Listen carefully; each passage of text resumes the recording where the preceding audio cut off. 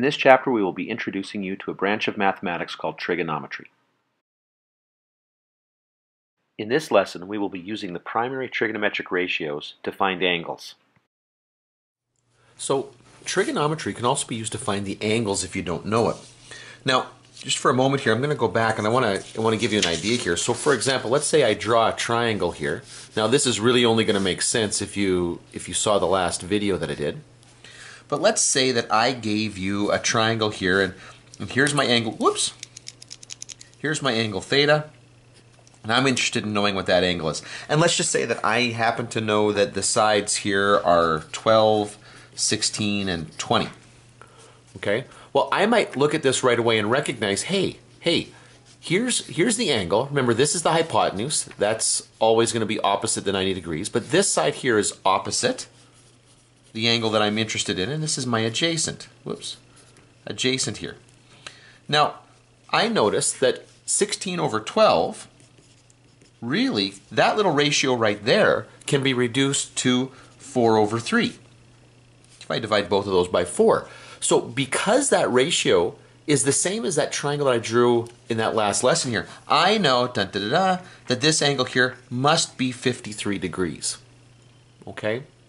Now, I know this because we drew a triangle uh, that was 3, 4, 5 in the last lesson, and we knew that this was 53 degrees because I told you that. Um, and so now all I know is that if that ratio is the same as the ratio that we had from the other triangle, the angle must be the same. Well, we're going to do the same sort of thing here, except we're going to let the calculator tell us what those ratios are supposed to be. Now, to do that, what we're going to do here is you press the second button prior to selecting the appropriate uh, trig function here. So in this particular question, the one that I just did here, okay, when I went opposite over adjacent here, that was the tan ratio. So to get the answer here, so we know, for example, that the tan of 53 degrees is 4 thirds. But let's say I don't know that. Let's say I don't know what the angle is. The tangent of theta is equal to 4 thirds, but I do know this. Well, what I can use is I can use the opposite feature or the opposite function to tangent on the 4 thirds. I use tangent on the angle, but to get the angle, I would do the opposite, the inverse of tangent on the 4 thirds, and that would give me the angle that I'm looking for. Okay, and so I can illustrate that right now. I'm just going to grab my calculator here, now I've been playing with it since then, so I'm going to put it in the right mode.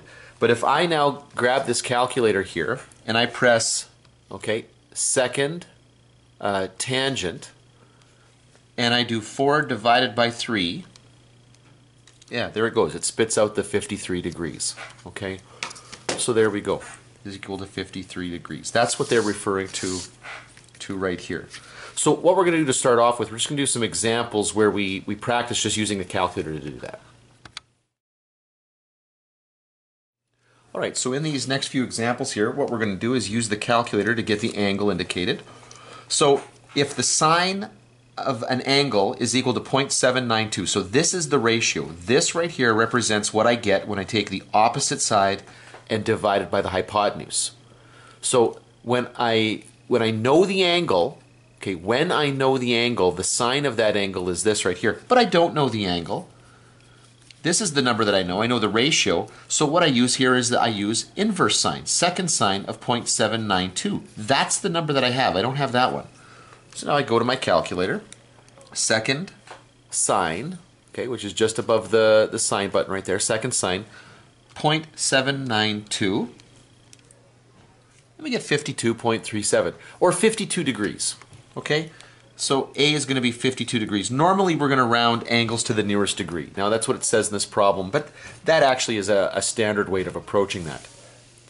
For this one right here, the cosine of that angle, okay, if I knew what that angle was, th that cosine of that angle is going to be 0.866. So to get the angle theta, okay, if I don't know what the angle is, if I know what the ratio is, then I have to use second cosine, the opposite of cosine there. So second cosine 0.866. Oh, and we get 30 degrees. In fact, it's really, really close to 30. It rounds really, really nicely. So 30 degrees. Okay, so if you knew that the ratio of those two, uh, the adjacent side to the hypotenuse was 0.866, then that angle right there in between those two would be 30 degrees. Tangent. Whoops, sorry, I went too far. If the tangent of theta is equal to 1 eighth, find theta. Okay, same sort of thing. So this is the opposite divided by the adjacent.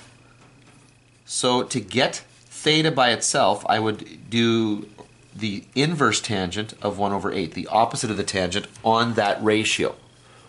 Okay? And so second tangent, 1 divided by 8. We get 7.12, or just 7. Now, we're going to keep going with some of these examples here, but what I want to point out here is the mistake that often gets made here is that when when people do this, they don't use the opposite, the inverse tangent, or the inverse sine, or the inverse cosine on the ratio. They'll use just sine, cos, or tan. Okay, without thinking about it. You you really need to understand here that when you know the angle, when you know the angle, then it makes sense to use sine, cos, or tan. That will produce the ratio. If you don't know the angle, if you if you've got the ratio, then you have to do the opposite. Okay, which is that feature that is just above the sine, cosine tan on your calculator. Okay, let's just keep going here. The cosine of an angle is going to equal 1 over root 2. If I, if I knew what that angle was, I'd plug that in and I would get 1 over root 2. But I don't know what the angle is. So to get the angle, I use the second function, cosine, 1 over root 2. Okay, so second function, cosine, so get inverse cosine, whoops, 1 divided by the square root of 2. Whoops, that's right, 2. Oh, and you get it exactly 45 degrees. Okay, 45 degrees, good. That's an interesting one to know here. You're going to see that that plays an important role uh, in later courses here. Cosine of theta is equal to root 3 over 2. Okay, so the cosine of that angle would give me this answer, but I don't know what that angle is. So I have to use the inverse to get that angle there. And again, so it's second cosine, get the inverse cosine, and then the square root of 3 divided by 2. Now you got to make sure that that square root doesn't go over the, the 2 as well. It's just root 3 over 2. In this case, we get the perfect little 30 degrees. Okay, and then finally in this little set of questions here, if the tangent of theta is equal to 3 quarters, then what's uh, theta? So theta is going to be the inverse tangent of 3 quarters to go back to the angle. So second tangent, 3 quarters, and now we're going to have to round this one, but we're going to round that to 37 degrees. Okay, so there we go. That's how you use the calculator to go from a ratio back to the angle. Prior to this point here, we were focused on finding sides, and so you used sine, cosine, and tan to convert an angle to a ratio, and then you use that ratio to get the sides. Now we're just going backwards. All of that information is in the calculator. Now we'll apply what we've just learned to triangles. Okay, so now to give a little procedure here. When you're given a diagram of a triangle and you've got the angle in it, if you're given the angle, then you're trying to find the side here. Now there's a, sentence missing here. However, if you are missing the angles, okay, if you're missing the angles, then you're being given the sides, then here are the steps that you need to sol uh, follow to solve for uh, the missing piece here, the missing angle. So first of all, you're going to label the triangle just like we did before. In this case, though, you're not going to be given the angle. Now, now remember, the angle is the anchor point in these problems. It's always about the angle first. In the previous questions, when we were looking for sides here, that angle uh, that we were given was obvious, and then you just worked your way out from here. But here, it's going to be the unknown angle that's that's the anchor point here. That's going to help us label the hypotenuse, opposite, and adjacent. You're going to see how that works in a second. Then what we're going to do is based on that angle that we're looking for, we're going to determine which trig ratio we're going to use, okay, from using SOHCAHTOA, uh, just based on the information given to us. We're going to set up the ratio. We're going to have to probably cross multiply and divide, whatever we got to do there, uh, depending on, on how the information is given to us. And then we're going to solve for the angle by using the inverse trig function here. That's this using the second key. Okay? So let's go through and do some examples so that you get a sense of how this works. All right, and so these questions here we're going to solve for the angle. So in this first question here, notice angle A has got this little mark on it. That's it's drawing our attention to that. That's what we're looking for here. So here's the anchor point right here. Uh, remember the hypotenuse is always opposite the right angle. And because this side right here, the 14 is opposite angle A, that is the opposite angle. So here's the adjacent. But I have no information about the adjacent, nor am I being asked for the adjacent. That's not relevant. So I'm looking for my trig function that relates the opposite side to the hypotenuse, and that's going to be sine. So the sine of angle A is going to be the um, opposite 14 over 25. So what we're saying by this expression here is that if I knew what the angle was and I did the sine of that angle, I would get 14 over 25. I don't know that angle, this isn't an angle. 14 over 25 isn't an angle, it's a ratio here. So to get that angle, I will use the opposite of that function there, the inverse of uh, 14 over 25. Now I'll go to my calculator and we'll press second sine and then it'll be 14 divided by 25 to get 34 degrees. So angle A here is 34 degrees. Okay, let's take a look at the next one. So this one's labeled theta. So again, that's the one that we're interested in. Uh, that's where we're going to put our, our focus. This side right here is opposite the right angle, so this is our hypotenuse. Um, this side right here that we're given, we're using it to build this angle. So this is, ah, why do I keep doing that? This is the adjacent side. And the one over here is the opposite side. I'm not given any information about the opposite. I'm also not being asked for anything about it, so that's really not relevant here. So now I got to think what trig ratio on an angle relates the adjacent side to the hypotenuse? And the answer is it's cosine. The cosine of theta in this case would be uh, 2.1 over 4.2. If I knew what theta was, if I knew what that angle was, and I typed that in, cosine of that angle, I would get that same ratio, 2.1 over 4.2. But in this case, I don't.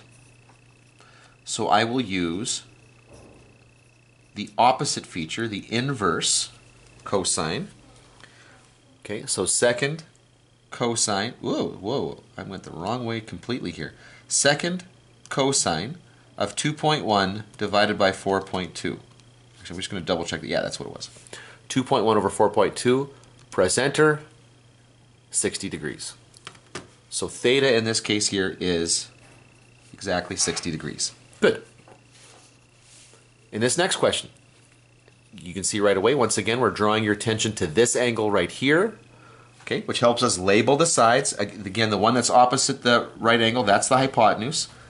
But this side over here, it's on the opposite side of the triangle. This is the opposite side. This side right here is being used together with the hypotenuse. It's creating this angle. So this is adjacent. So now I know the opposite. I know the adjacent. What trig ratio is that? Okay, well that's tangent. So we know that the tangent of A is going to equal opposite over adjacent 24 over 15.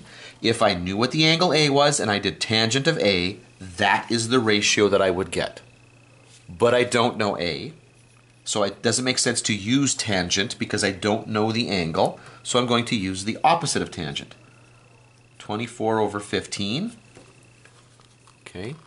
So second tangent, 24 divided by 15. And we get 57.9. Okay, so 57, sorry, yeah, 58. It's approximately 58 degrees. Okay, good come down here. Okay. Now, in this case, it's angle B that we're being our attention's being drawn to because of the marking there. Uh, and again, from there we identify the the sides by by whether the opposite, adjacent, or hypotenuse. So the hypotenuse again is opposite the right angle. Uh, the 4 here, the 4.0, this is opposite the angle B that we're being asked to find here. And then this is the adjacent side, but I, am not given any information about it, so it's really not relevant in this problem. So what I have to relate here are the opposite and the hypotenuse. Well, what trig function does that? Okay, well, it's sine. And again, you have to have that memorized. If you don't have that memorized, if you don't have like SOHCAHTOA kind of clear in your head what it what it's used for, what it means, uh, this is going to be a very, very difficult process. You're going to have to constantly be looking that information up. But in this case right here, if you can see it, then the sine of b is going to equal 4.0 over 9.1. And I know I keep explaining it this way, but I'm, I'm doing this because repetition is important when you're when you're learning this stuff here. If I knew what b was, if I knew what that angle was, and I did the sine of b, I would get that ratio. Okay, whatever that decimal value turns out to be. I don't know what it is, so it's going to be the opposite of sine. So 4.0, inverse sine of 4.0 over 9.1. So uh, second sine 4.0 divided by 9.1, whoops, 0.1, and we get 26 degrees. Okay, so B is equal to basically 26 degrees. Okay, just a couple more here. So in this case, the angle theta, okay, or the label theta tells us that it's this angle here that we're interested in. Uh, Again, the hypotenuse is opposite the right angle. It's the longest side, but and in this case, I don't have any information about it. I'm not really interested in using it. This side right here, the 8.2, is being used together with the hypotenuse to make this angle. So this is the adjacent. And the 6.0 is opposite, is okay, the, the angle that I'm looking for. It's on the other side of the triangle. So I have got information about the opposite and the adjacent. What trig ratio is that? That's tangent. So the tangent of theta, if I knew what theta was and I typed in the tangent of that angle, I would get the same ratio as 6.0 divided by 8.2. Okay? So now, to get the angle, I will use the opposite of tangent, the second tangent, 6.0 over 8.2. The calculator here, second tangent 6.0 divided by 8.2, 36 degrees. So our answer here is 36 degrees. One more time. Alpha, okay, because this is the labeled angle, that's the one that we're interested in. Okay, whoops. The hypotenuse is opposite the right angle, so our hypotenuse here is 60. Uh, this side right here, the 45, is being used to create that angle. So this is adjacent to that angle. And over here, this is opposite. And again, I have no information about it. So what trig ratio that I know of uh, combines the adjacent side and the hypotenuse? Cosine. So the cosine of alpha is going to equal 45 divided by 60. And once again, I'll say it if I knew what alpha was and I pressed the cosine of that, I would get the same ratio as this, 45 over 60. But I don't, so I use the opposite function here, the inverse function of cosine of 45 over 60 to get that angle. So it's the second cosine 45 divided by 60, press enter, and we get 41 degrees. So alpha here is 41 degrees. All right, in this next question here, that's related to ones that we've just been working on, but here a little bit less information is given to you. We're not drawing the triangle out per se, but we're giving you information about it. In triangle ABC, angle A is 90 degrees. So there it is in this diagram, A. And BC is 11.5, AB is, is 2.7. Okay, so I have to label this here. So it doesn't really matter how I do this. So ABC, uh, AB is 2.7, okay. Uh, BC, okay, the hypotenuse here is 11.5. And I don't know anything about this side here. And the question's asking me, determine the value of B. Okay, so B is the angle that I'm interested in. So once I focus my attention on a particular angle, labeling the sides becomes pretty straightforward. Uh, the one opposite the 90 degrees is the hypotenuse. Uh, this side right here, because I'm using it to help build angle B, that's adjacent. And this one on the other side of the triangle, that is opposite. So now I have information about the adjacent, I have information about the hypotenuse. Now, I have to know that that means the cosine ratio. if I knew what angle B was and I pressed the cosine of that angle, whatever it turned out to be, I would get the same number as dividing 2.7 by 11.5. But I don't know what that angle is. I need to figure out what that angle is, so I'm going to use the inverse cosine of that particular ratio, because in fact I do know the ratio here. Okay, pull out the calculator, second cosine. This is 2.7 divided by 11.5. And now I got to just double check that, that I put that in correctly. Yeah. Press enter, and we get that that angle B to the nearest degree is 76 degrees. Now we will discuss what it means to solve a right triangle. Okay, now we're going to take a look at another idea here, just something that's just a little bit of an extension beyond what we've been doing here. We're going to talk about solving right angle triangles. Okay, and what we mean by that. So now that you're able to determine which trigonometric ratio to use based on the information that you're given, and, and hopefully you've had enough practice to get comfortable with that, what we're going to do here is we're going to use the information to find all of the missing uh, sides and missing angles. So that's what we mean by solving a right triangle is finding everything that you don't have. Okay? So what we're going to do here is you're going to label the sides of the triangle and, and angles and whatnot accordingly. And then you're going to find the missing angle uh, by knowing that all the angles add up to 180 degrees. So that's one thing you're going to do here if you have that much information. Okay? Um, and then you're going to solve for the missing sides using the trig ratios. Or, okay, you're going to have to use um, trigonometry to find the angle before you can find that missing side. You might even get the chance to use the Pythagorean theorem, okay, if you're given two sides and you want to find uh, you want to find the third side there, okay? In that case, you'd be missing an angle. So anyway, but that's the whole idea is you're going to you're going to do the same things that we've been doing previously, but you're going to find everything now that you don't know, just not just one indicated uh, piece of the triangle. All right, so now what we're going to do for the next couple questions here is we're going to solve the triangles. Okay, we're being asked to solve the triangles here. So take a look at this triangle right here. Okay, notice that we're being given uh, the two sides here based on the way the triangle is labeled, this would be side little a, this would be side little b, so we've got little c over here. Little c we don't know. So let's start let's start by dealing with that. Okay? I know that if you got a right angle triangle here, and you know two sides, I can use the Pythagorean theorem to figure that out. So in this case here, it is the case that a squared plus b squared will equal c squared. a is 38, so 38 squared plus 29 squared is going to equal c squared. Now I'm going to go to my calculator. 38 squared plus 29 squared okay, is going to be 2,285 is equal to c squared. And so now to get c, I'm going to take the square root of that. And yeah, I was hoping that that would work out nicely. It really doesn't. I took the square root of 2,285. Uh, it could be positive or negative of that based on like the algebra here, but the truth is it's going to be the positive one, and it turns out this is going to be 47.8 approximately. Okay, so C here is approximately 47.8. Now I got to find the angles here. And so what I did do is I'm going to just choose one of these ones to work with. Let's choose A to start off with.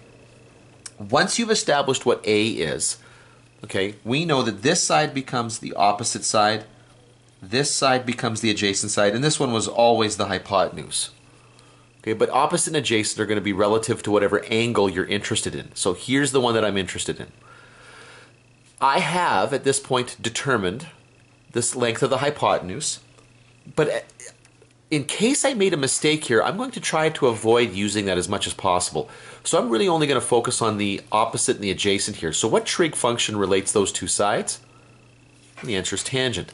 So the tangent of angle A is going to be 38 over 29. Now, if I knew what angle A was and I plugged that in, took the tangent of it, I would get 38 over 29, but I don't. So I'm going to use my inverse tangent, the opposite of tangent, okay, to get that angle. I'll go to my calculator here, and that will be the inverse tangent of 38 divided by 29. close bracket there. Okay, and I'm getting, when I round that, uh, 53 degrees. Okay, so 53 degrees. Now, to get B, okay, well, if I know that this is 53 degrees, the sum of the three angles in here has to be uh, 180. So B is going to be 180 minus 90 minus the right angle triangle minus the 53 degrees that I found for A, and I'm going to get that B is 37 degrees. And so now I've solved the triangle. I know that C is 47.8, angle A is 53 degrees, angle B is 37 degrees. Okay, let's move on to the next one. Okay, so in this triangle right here, I know this angle, and I know that this side is 19.8. Okay, this is angle T, this is uh, angle R here, so this is going to be little r, this will be little t. Now, okay, immediately I know that angle T, okay, is going to be 180 minus 90 minus 74 degrees, okay? Because the angles in the triangle have to add up to 180, so that tells me right away that, I mean, I know that angle T is going to be 16 degrees. Okay, so that was the easy part. So now what I'm going to do is I'm going to use the information that I'm given here to solve for the sides here. So I know that this is this is the angle that I'm given. That's the one that I want to focus on to start off with. That makes this side the opposite. That makes this side the adjacent. And this, as always, is the hypotenuse. So now I have to find the adjacent side and the hypotenuse here. Uh, the only side that I've got here is the opposite side. So I don't know, let's pick one of these things to start off with. Uh, let's start with the hypotenuse. So I want to figure out what the hypotenuse is. I know the opposite side. I'm looking for the hypotenuse. That trig ratio that relates those two is the sine. The sine of 74 degrees is going to equal 19.8 over r. So when I press the sine of 74 degrees, it's going to give me what that ratio of this side to this side is for all triangles that have a 74 degree in it. So I mean, I already know that that's going to be just a little number on the calculator when I when I press it. I'm going to do that later when I need it. So right now I've got sine of 74 degrees over 1 is equal to 19.8 over r. I can I can cross multiply if you will. Equals 19.8. So r is going to equal 19.8 over the sine of 74 degrees. Okay, now I'll go to my calculator and figure that out. So 19.8 divided by the sine. Now notice it's not second sine, it's just sine. Because I, I know what the angle is. It was 74. Okay. And when I press enter, I get 20.6. So the hypotenuse here is 20.6 units, whatever it is. Good. Now I'm going to go back. I'm still missing the adjacent side here. Um, I, I, don't want to use the hypotenuse in case I made a mistake. So I'm going to try to just stick with the information that was given. So I have the opposite side here. I'm looking for the adjacent. Opposite and adjacent, that's tangent. So the tangent of 74 degrees is going to equal the opposite over the adjacent, t. And same as before, if I press the tangent of 74 degrees, it's going to give me the ratio of this side to this side for any triangle that has a 74 degree angle in it. Because remember, that ratio will always be the same. And so I know that I can get that from my calculator. I'm just going to leave it. I'll deal with it in a bit here. Uh, first of all, I'll cross multiply. I'll make this a fraction. So I'll get t times the tangent of 74 degrees is going to equal 19.8. So t will equal 19.8 divided by the tangent of 74 degrees. Now I'll go to my calculator. Okay, uh, what was it? 19.8 divided by the tangent of 74. All right, and we're going to get 5.7 as the length of side t. Now, just to make sure that everything's kind of consistent here, notice that this was 16 uh, degrees here. Notice that this is 74. That means the side opposite the smallest angle should be the smallest side. Okay, and then that is in fact true. Okay, angle, sorry, side T was 5.7, and that is the smallest side by quite a bit. So that is consistent. Uh, I feel quite good about what we just did there.